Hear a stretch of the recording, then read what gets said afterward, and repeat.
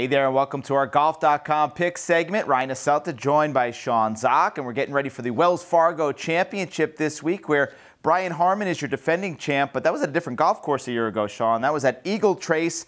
They return to Quail Hollow this year for the Wells Fargo, which of course hosted the PGA Championship last year. Big field, a lot of big names. Tiger, Rory in town, Phil Mickelson. Who do you like this week uh, outside of Charlotte? I like Kevin Kisner, a guy who kind of ran out of form earlier this year. He's getting it back. His putter never left him, and finally, his off the tee, his long game is kind of coming back to that top 15, top 10 form.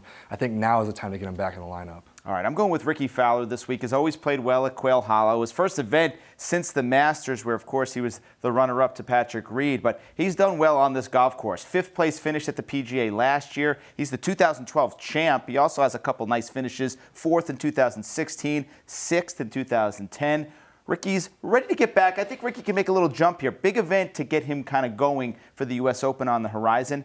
I like Rickie this week. How about a little further on down the rankings for a value pick, Sean? A little bit down the rankings. Uh, Francesco Molinari is a guy who played really well at the PGA last year, snuck up the leaderboard on Sunday.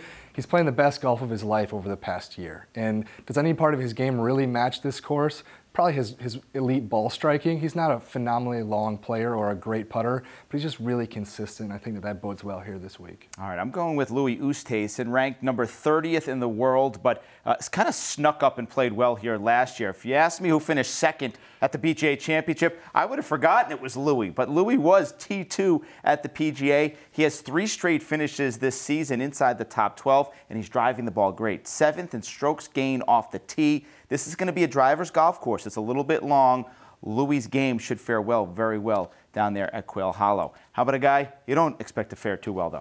I'm not expecting a lot out of Ross Fisher. He's a guy that peaked earlier this year. He's had a long career. He just he's got two missed cuts in a row, and he's just it's not pegging well for him right now. All right, I'm staying away from Ollie Schniederjans. He missed the cut in his only appearance here back in 2016, and we talk about driving the ball he's struggling big time. He's out the top, outside the top 170 in driving distance and stroked gain off the tee. He's 150th.